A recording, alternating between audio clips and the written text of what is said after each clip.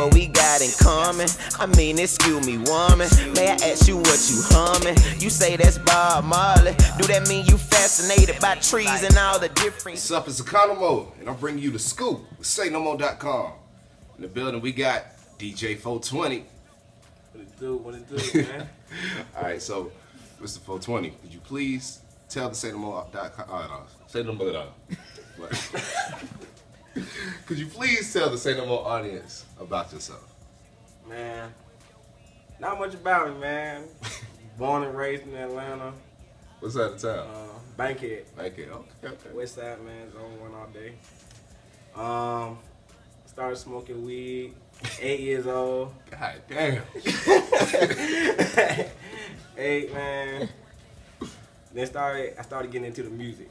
Family was more into music, so I was like, okay, it's gonna keep me out of trouble. I mean, I'm not gonna lie, I started with the whole gang banging, everything that was going, I was going down that path. Then I was like, you know, music was like it's gonna keep me a little bit out of trouble. So I remember going to a friend of mine's house, like a few DJs, there. I was just sitting there like a kid, just looking like, wow, what's he doing? Like, let's look at the look at the look at look what he's doing. Look at this turntable thing he's talking about. I was like, oh wow. So I started getting into it. I was like, okay, cool. So my high school year, like in the years of high school, I was like, okay, I'm a DJ. Like the prom. Oh, shit. Oh my god, that was the worst show I ever. That ended up being the worst thing ever. They had no DJ programs. I was running on a Windows media player God damn. for the DJ system. and you said since that was your worst thing, I mean, that didn't, you know, make you feel like, damn, bro, I definitely don't want to do this shit. I mean, Nah, actually, it pushed me to do better. Mm-hmm. I want to do better because I knew I was looking at everybody. I was like, high school, I was growing up like DJ Screams, all the Hood Rich tapes, you know, Shawty Lo, everything. Cause I'm right down Bankhead, so you know, I was getting all the Shawty Lo, Deep OL stuff when it was coming out. Mm-hmm. And like, so I was like, you know what? I'm gonna push myself a little bit harder, go harder on everything. So I ended up, a friend of mine told me was a program. He's like, go get the virtual DJ. You go get it online, like free. I'm like, okay, cool. Ended up getting it. Next thing you know, I'm sitting in my room just hours just mixing, mixing. And then it's like, okay, let's do a mixtape. Like, I forgot who it was. Sorry. but they approached me like, man, let's do a mixtape. I was like, cool, let's do it. So got on my vert and everything, started doing it, mixing down, started getting better at what I was doing after like practice and practice and practice day in, day out. So then after that, we dropped the first tape, DatPiff. Then later in life, I started I started stacking up, started working more, got my own set of tables, upgraded to the Serato. Then I was just mixing up a storm. To this day, I'm just mixing, just constantly. Tapes, tapes, working on club. Was in the club, we had a lot of issues with that, and I ain't gonna get into that situation. but, oh yeah, man. All I do is just sit, mix all day, man. Take care of my little family. Like moms, dads, got my girl at the house. Take care of everything, man. right. For, you know, Serato or turntables. Um, wrong with the program? Yeah. Runs on, so you know, I like. Well, matter of fact, Serato is virtual DJ. I'm not gonna lie, I like the bird. I like the bird. Okay. So, what do you feel is your strongest point? Being, you know, well, I mean, since you say you don't club, be, you don't club in, as much as you used to back in the day, you know, with club DJing, but radio DJing or mixtape DJing. I mean, what do you feel like your strongest suit right now? Well, I'm taking over the game with that. Taking over. So, how did you get into, you know, uh, as part of part of like radio DJing? Because I mean, you can't just walk up to somebody and be like, "Man, I DJ. Check this out." Um, I was actually approached by DJ Joker. He runs Urban 365 Radio. Lil Mo was like, he's like, man, I've been seeing you do work, man. I see you breaking indie artists, you know, everywhere, everywhere. So, chopped it up with him on the phone. He gave me three days out the week, and I was just mixing, just releasing mixes, going live. At first, I was like super nervous. I was like, wow, radio, first time. I was like, oh my god, people are listening to me. But everybody had my full support with it. They were all there behind me watching. Mom, dad sitting there watching me mix. I'm like, oh man. Dad sitting there like, oh, "Fuck up." I want you- I want your ass fuck up. But all right, so as far as uh, since you say you know you break indies and stuff like that, What, um, like I asked, you know, in the previous one, what characteristics does that indie have to have in order for you to, you know, fuck with they fuck their music or help wanna break their record or whatnot? Any artists now these days, they have to work. It, like they think everything's gonna be free for them. Nothing's gonna be free. I'm sorry. Like for me to break your track, I'm not even trying to break your pockets. Just like a dub, and I'll push what you got if you are willing to work. If you're gonna promote yourself, I'll help promote you. You gotta put all your stuff to work right about now. You got artists right now rapping about what kind of cars they want to drive and the money they be having, but then go, you know, ask for a beat. Bro, can I get that beat for free? Bro, the beat fifteen dollars. What do you want this for free though? Like, it's crazy. I'm quick to call them out now these days, man. Hey, don't shoot no music video saying you got bank and then walking to me broke. I'm gonna call you out. I'm get on every social network, call you out. In your city, I'll call you out. Alright. So, what is the hottest song right now for you?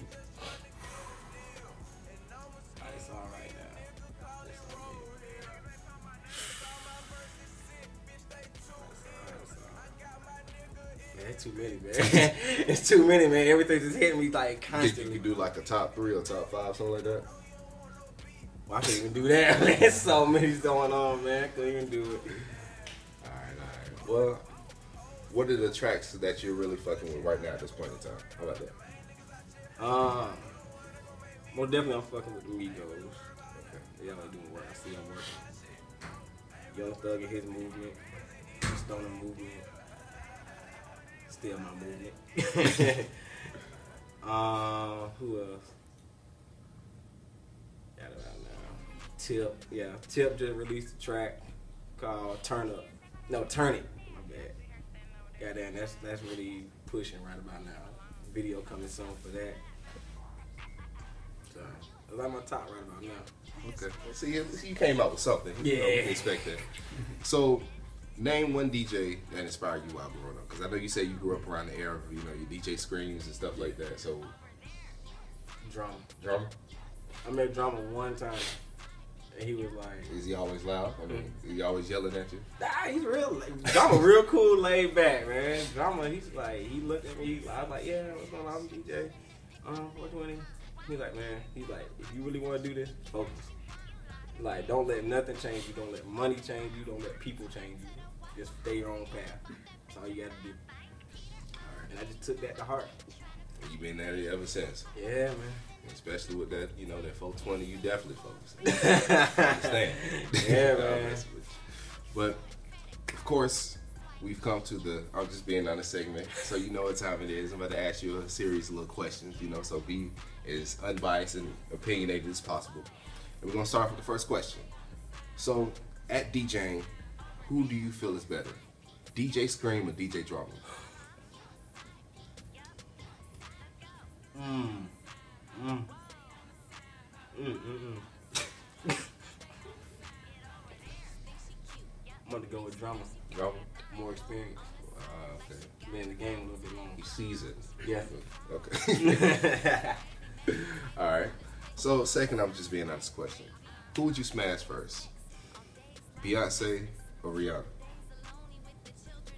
Uh, man, fuck Beyonce, man. I go for Rihanna, man.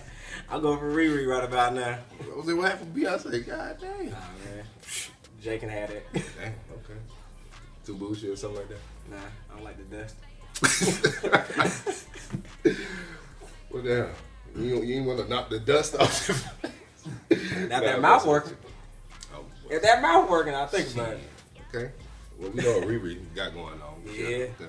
So the third one, you know, the Nae Nae dances took Storm right about now. How do you feel about it? That's a major movement right about now. Major movement. They working. I see them working. You fucking with it? Yeah, I'm fucking with it. All right. Catch me in the club every now and then, man. I might bust it every now and then in the club. You know, if I'm DJing it, I might see me in the booth check. Got a hands. What the fuck you doing? All right.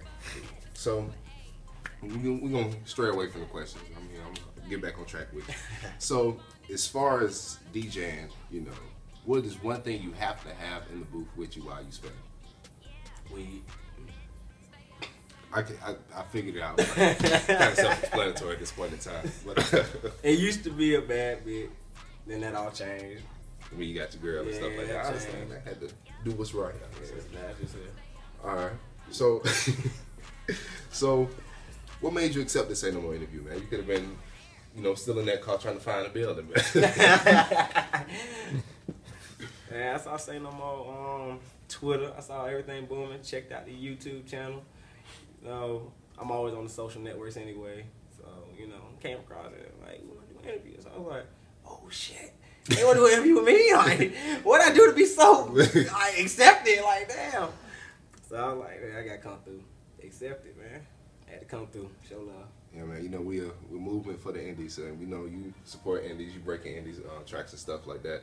And you know, we like stuff like that here at SayNoMore.com because you know we home for the indies. So whatever we can do to help these indies out, we're gonna bring in the right people and direct them in the right you know direction. So, who has been the realest artist you've ever came across? Indie wise? Indie, major, whichever you choose. Oh man, ain't really met that many goddamn major major sh- you know indies like indies that rock with me. Young Flawless, Nick on the scene, Young Tone, you know everybody like that man. They go rocking. with me. They see the can, they see what I'm doing. I'm breaking records, mixtapes. they They see you working. And I'm real quiet for what I do, man. I'm not out there with everybody. I'm not out there with like chains. I'm not all that happy stuff, man. If it's a rosary, I'm good, man.